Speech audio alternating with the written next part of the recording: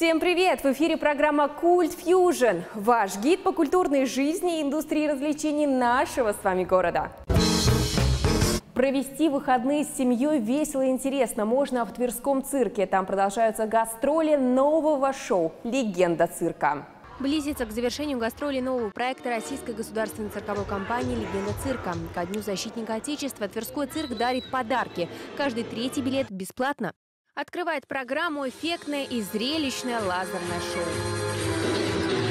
Легенда цирка – это клоуны, жонглеры, дрессированные животные. Удивляет зрителей всех возрастов воздушная гимнастка Любовь Ульянкина. Она будто танцует под куполом цирка, кружась в балетном футе.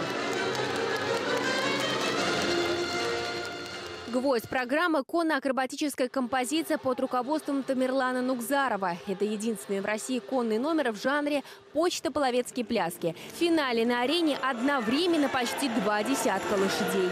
Ближайшие шоу «Легенда цирка» пройдут в предстоящие праздничные выходные. Тверской цирк продолжает радовать любимых зрителей. Ко Дню защитника Отечества проводит акцию. При покупке двух билетов на шоу, каждый третий бесплатный, успейте получить свой бесплатный билет в кассе Тверского цирка. Тверские художники совершили настоящий арт-прорыв. Заинтересовало? Тогда смотрите наш сюжет. Арт-прорыв собрал работы самых разных жанров и направлений. Живопись, графика, витражи, бати, куклы, игрушки, декупаж, кованые украшения и ювелирные изделия. Настоящий фейерверк творчества. Удивил и поразил многих стенд Елены. Это сказочный чердачный а, анти антиквариат, новодельный. Все вручную я освоила и лобзик, и шлифмашинку, болгарка. Да? Женщины не все знают, что такое болгарка. Я знаю.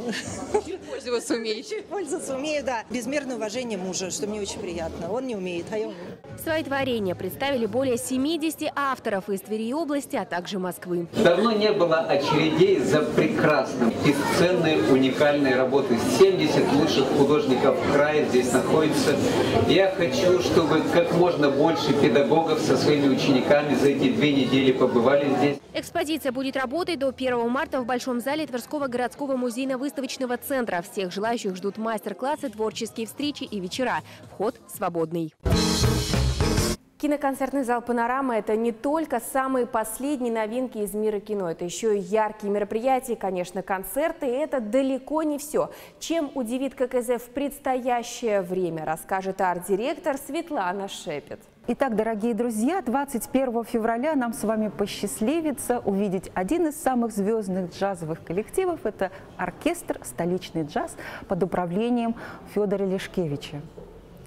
Э, в киноконцертном зале «Панорама» мы посетим своеобразный музыкальный джазовый музей – ведь по праву можно сказать, что этот именитый звездный коллектив предоставляет нам уникальную возможность услышать, понять, почувствовать и погрузиться в исполняемую программу так, как она звучала э, именно в ту эпоху, когда была написана.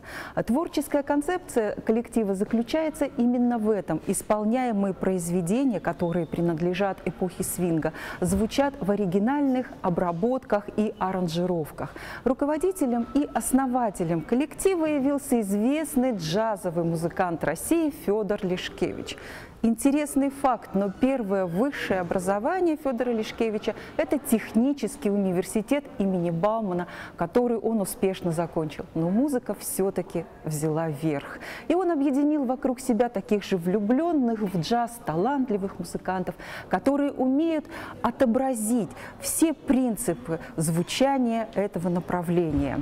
Очень важно, что эти музыканты также в совершенстве владеют искусством импровизации. Именно эти таланты и эти возможности дали коллективу так быстро взлететь на звездный небосклон известных российских коллективов. Ведь столичный джаз под управлением Федора Лешкевича существует сравнительно недавно, однако он завоевал и любовь, и признание слушателей и зрителей. И нам с вами предстоит в этом убедиться. 21 февраля в 19 часов встреча с оркестром «Столичный джаз» под управлением Федора Лешкевича. А сейчас о киноновинках. Что можно посмотреть в киноконцертном зале «Панорама» расскажем в нашей специальной рубрике «Кино на большом экране». Продолжение романтической сказки режиссера Жора Крыжовникова фильма «Лед 2» выходит в широкий прокат в День всех влюбленных 14 февраля. Вы знаете, что происходит в сказках после свадьбы принца и принцессы? Тогда есть возможность узнать это в новой части. Для фигуристки Нади и хоккеиста Саши, с которым зритель познакомился в картине «Лед», звучит свадебный марш. Теперь они больше всего на свете мечтают о ребенке, но цена, которую им придется заплатить за воплощение мечты, невообразимо высока. Ну что, кто там у нас? Пока сложно сказать. Может быть, если повернется. Да, переворачивайся. После пережитых потрясений рассчитывать на счастливый конец уже невозможно. Но если вы так думаете, вы ничего не знаете о настоящих сказках. Особенно если сценарий этой сказки пишет Андрей Золотарев.